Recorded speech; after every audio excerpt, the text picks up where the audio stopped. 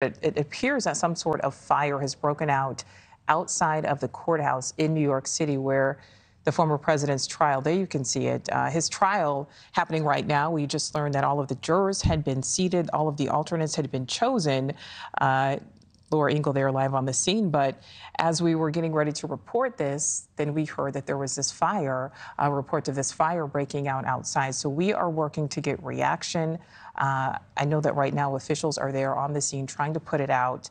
So Laura Ingle is outside there of the courthouse. Laura, can you tell us what's happening? We're hearing reports of this fire, potentially somebody setting themselves on fire. Nichole? We just witnessed somebody set themselves on fire. I just saw it happen. Greg, go ahead and turn around. Don't show the fire. Show what the activity that's happening right in back of us. Okay, so the area that's right in back of our cameras. Try not to show the man on fire, please. Just just show the court officers, the NYPD.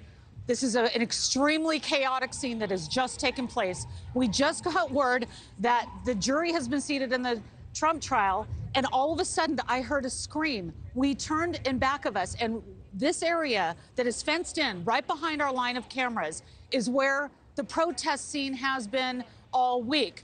People with Trump flags, pro, uh, counter demonstrators, and it looked like something out of a movie. It looked, uh, there was a man standing on fire and he flames were shooting up in the air and his hands were starting to shake and he dropped down to his knees and people started screaming.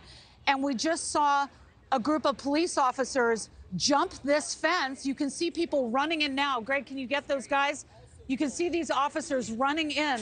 And we all just said to ourselves, is this real? Because it did not look real. It looked like something out of a movie. Thank you for watching. Go to newsnationnow.com to find News Nation on your television provider. And don't forget to click the red subscribe button below to get more of News Nation's fact driven, unbiased coverage.